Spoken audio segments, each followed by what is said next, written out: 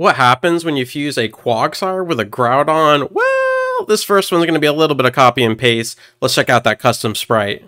All right, for this final fusion, we have a groundwater typing here. it's going to be a big blue Groudon.